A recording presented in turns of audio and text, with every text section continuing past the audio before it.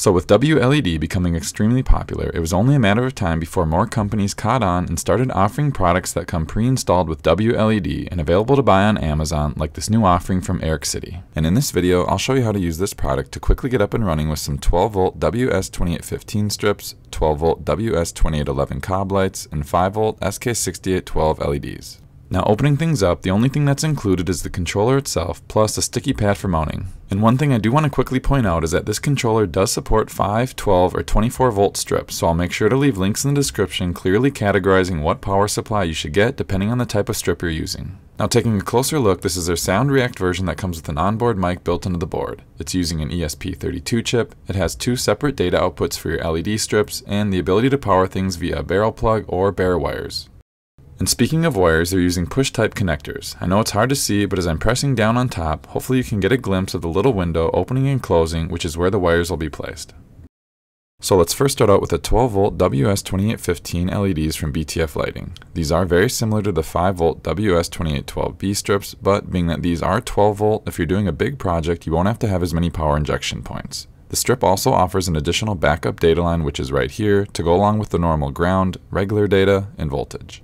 They also have these little black arrows that you'll find on all these types of addressable strips that indicate what direction the data is flowing that always has to be going in the same direction which is away from the controller. So moving on, all these lights will usually come with a separate JST connector that you can attach to the beginning like I'm doing here. Once done, I'll then strip back all four wires, and since these wires are pretty thin, I generally like to bend them once to make things a little bit more rigid and easier to work with when using push connectors. And moving over to the controller, I'll be using the GPIO 16 input and inserting the white ground wire into the G opening. I'll then combine the backup data wire with the regular data line before inserting into the D slot. And then the red voltage will go into the V opening. Next, for power, since these are 12 volt LED strips, I'll be using a 12 volt 10 amp supply that should be more than enough to drive a good amount of these lights.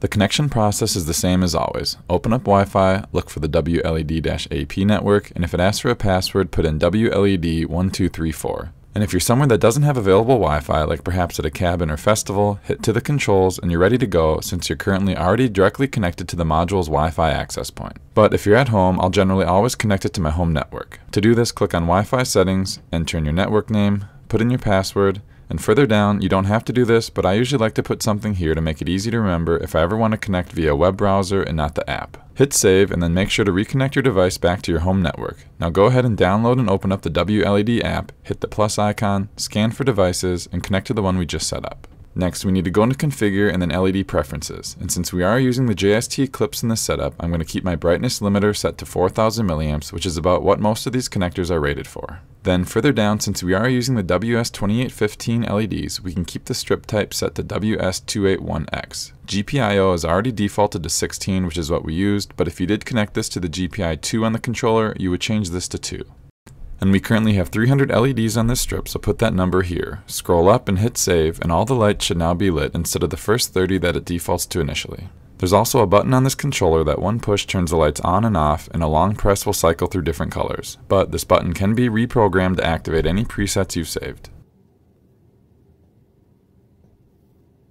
Now before moving on, I want to thank the sponsor of today's video, Aura. So this is me signing up for their free 14-day trial, and during the setup process, one of the many things they do is scan the internet for data brokers that have your personal information. These data brokers then make a fortune selling your information to spammers, scammers, and other entities that want to know more about you. Now, Aura was able to find 30 such instances of my personal information being in the hands of these companies. Then, with one click, Aura sends out a notice to have my information removed from their systems, which they are legally required to do when asked. Their all-in-one platform offers antivirus protection, credit monitoring, credit lock, financial transaction alerts, secure VPN, identity protection, parental controls, 24-7 US-based customer service, and much, much more. I'll leave a link in the description for you to start your own free 14-day trial, so please make sure to check them out. Thank you all so much, and now back to the video.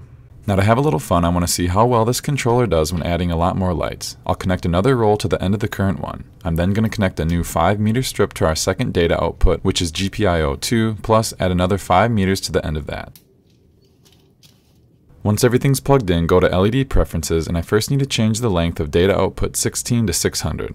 Then a little further down, hit the plus icon to add another data output. Here we need to put 2 in the GPIO field as well as setting the length to 600. I'm going to keep the brightness limiter set to 4000 milliamps and hit save. So at this point we do have a good amount of LEDs connected, 1200 to be exact, and one thing I love about the WLED software is that when you have the limiter set, it will automatically adjust the brightness levels across the entire run to give you the best results possible. I'll turn off all the lights since it is hard to see anything right now, after which you should be able to see how all four rolls are evenly lit with no visible voltage drop at any point. And obviously these aren't running at max brightness, but for pretty much all my projects I'm simply trying to create some cool ambient lighting for which this level of brightness would be perfectly acceptable to me.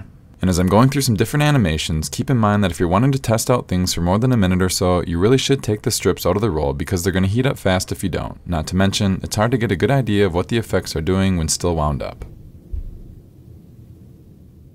Moving on, let's turn our attention to the WS2811 cob LEDs. These offer an astounding 720 LEDs per meter or 3600 for a 5 meter roll like I have here. I have the 12 volt version, but they're also available in 24. With these, you're able to control the LEDs in groups of 36, which equals 100 zones over the entire run. Now these are wrapped where the end of the strip is on the outside of the roll. If this was the beginning, the arrows on the strip right here would be going in the other direction. So I'll get these unraveled to better access the starting point.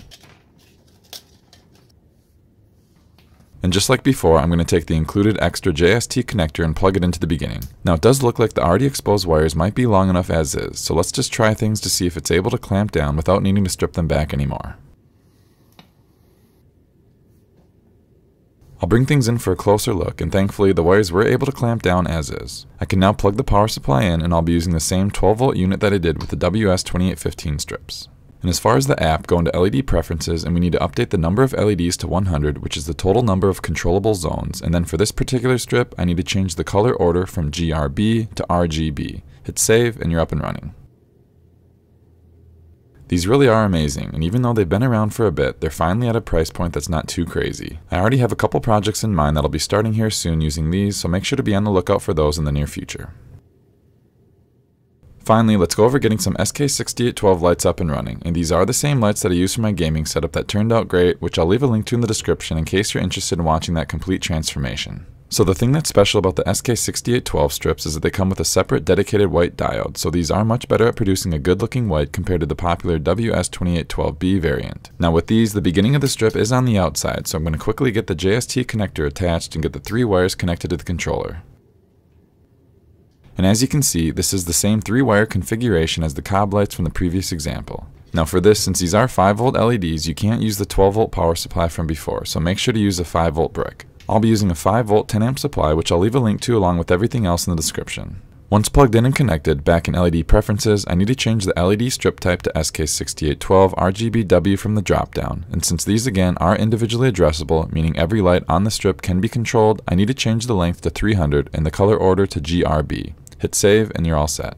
Now since it's not very fun seeing animations and effects like this or like this, I'm going to get these set up on this wooden circular design that I made just a couple weeks ago. And if you think this looks cool and perhaps want to try making it yourself, be sure to check out the complete walkthrough I made on this project. But as I'm getting things set up and before the end result, I'll leave you with some final thoughts on this new controller. As for some of the things I liked, it's awesome that it supports 5, 12, and 24 volt products, and even though I used LED strips in this video, matrix panels would work just as good. I like the small form factor, the enclosed housing, I like that a lower price ESP8266 version is available, and I like that it has free shipping plus free returns. The biggest question mark however with all these types of small companies is around inventory. They always seem to sell out quickly and restocking can take months, so we'll have to keep an eye on that. Now that about does it for this one. Thank you all for watching, and I hope you enjoy some of the final footage.